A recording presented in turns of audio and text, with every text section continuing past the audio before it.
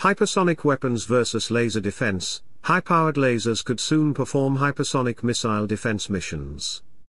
Chief of Naval Operations Admiral Michael Gilday says the service has used lasers to intercept ballistic missiles and hypersonic weapons to support future mission requirements. Recent tests included the Navy launching hypersonic weapons from its stealthy Zumwalt-class destroyers and incinerating incoming ballistic missiles by firing deck-mounted laser systems miles up into the atmosphere. The Army and Navy are respectively planning to field hypersonic weapons in 2023 and 2025, Gilday recently told the House Appropriations Subcommittee on Defense.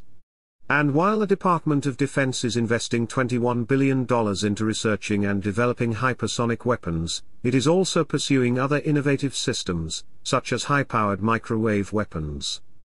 In recent years, the Navy has been working with the Missile Defense Agency on the power scaling of laser systems with the specific aim of increasing offensive and defensive capacity at much longer ranges and with much greater degrees of power. This means configuring expeditionary electrical power to support multiple laser beams on aircrafts as well as vessels at sea. This continues to be promising, to the point wherein high-powered lasers could soon perform hypersonic missile defense missions just beneath or even above the boundary of the Earth's atmosphere. Gilday also noted that the Army's long-range hypersonic weapon is slated to arrive next year, likely referring to the Army and Navy's ongoing collaborative effort to develop a common hypersonic glide body. While each service will use the projectile differently in terms of application, they are being engineered within a common foundation. The Navy weapon, called Conventional Prompt Strike, has conducted a breakthrough shot test with the Army's long-range hypersonic weapon using the common hypersonic glide body.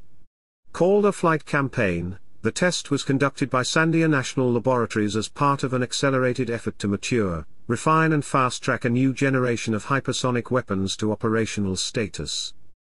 This test demonstrated advanced hypersonic technologies, capabilities, and prototype systems in a realistic operating environment, a Navy report said.